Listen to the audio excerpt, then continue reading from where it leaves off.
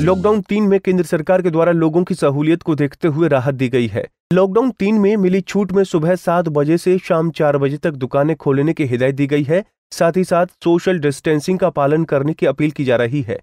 बागेश्वर जिला green zone में होने की वजह से यहाँ भी लोगों को राहत दी गई है। लॉकडाउन तीन में दुकानें खुलने से बाज़ार में काफ़ी रौनक देखने को मिली। दुकानदारों के साथ ही लोगों ने मास्क पहन, सोशल डिस्टेंसिंग का भी पूरा ध्यान रखा। लॉकडाउन तीन में मिली राहत के बाद दुकानें खुलनी शुरू हुई तो धीरे धीरे जरूरतमंद लोग खरीदारी करने बाज़ार में उमड़ने लगे। मास्क पहन, लोगों ने सोशल डिस्टेंसिंग का भी ध्यान रखते हुए खरीदारी कर रहे थे। वहीं बयालीस दिनों के बाद दुकानों को खोलने की अनुमति मिलने के बाद दुकानदार भी काफ़ी खुश नज़र आए।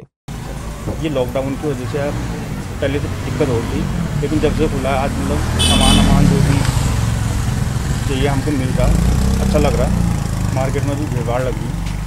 जो भी ज़रूरी सामान है वो मिल रहा। पहले तो दिक्कत हो रही एक महीने देश के विभिन्न क्षेत्रों में रोज़गार की तलाश में गए प्रवासियों को भी अब सरकार ने लॉकडाउन तीन में उन्हें घर पहुँचाने की कवायद शुरू कर दी है। बागेश्वर में देहरादून से दो बसों में उनसठ प्रवासियों को बागेश्वर पहुँचाया गया है। यहाँ स्वास्थ्य विभाग द्वारा सभी की स्क्रीनिंग कर उनकी मेडिकल जाँच की जा रही है। हमारे उत्तराखंड राज्य के जो विभिन्न जनपदों में लोग जो रोज़गार यापन के लिए अन्य कार्यों से गए थे और लॉकडाउन की अवधि में रुक गए थे। तो वो उनके आने का सिलसिला शुरू हो गया है।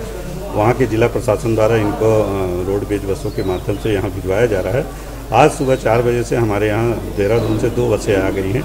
एक में पैंतीस लोग थे, एक में चौबीस। तो पैंतीस की जो पहले आ गए थे तो उनकी स्क्रीनिंग डिस्ट्रिक्ट हॉस्पिटल में हुई है। और उनके, उनको वहीं हमारे पुलिस और प्रशासन की टीम के द्वारा उनको नोटिस भी दिया जा रहा है। इसके बाद सभी यात्रियों को 21 दिनों के लिए होम क्वारंटीन किया जाएगा। पंजाब केसरी टीवी के लिए बागेश्वर से जगदीश उपाध्याय की रिपोर्ट।